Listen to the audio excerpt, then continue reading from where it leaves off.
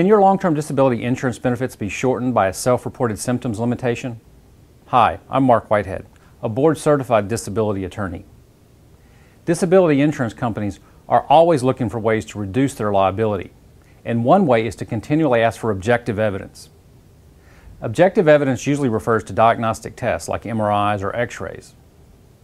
Unfortunately, some symptoms like pain and some diseases like fibromyalgia and chronic fatigue syndrome don't show up on any objective tests.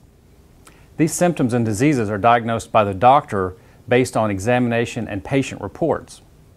Non-exertional limitations are also largely self-reported and therefore ignored for the most part by insurance companies.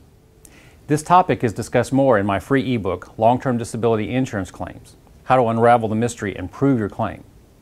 Visit www.disabilitydenials.com for a free downloadable copy or call 1-800-562-9830 to discuss your particular disability insurance issue.